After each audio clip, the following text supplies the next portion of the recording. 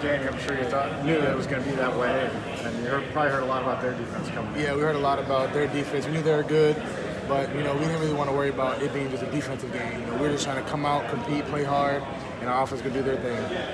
What did you guys feel like you did well defensively?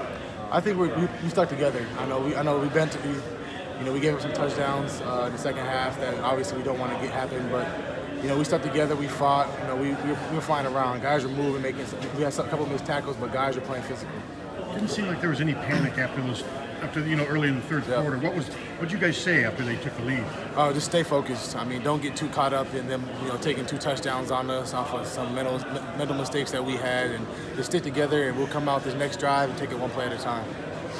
How much? I mean, I know it's it's obvious, but how much does it mean to get that ninth win? You guys have talked about it now for a month. It's huge. I mean, it's awesome. You always want to, you know, win that final game, and we did that. And whenever you can win nine games, it's special. I know Coach Ferentz brought up a statistic that he had. I think out of his 20 years here, I think he think we got nine wins about four or five times.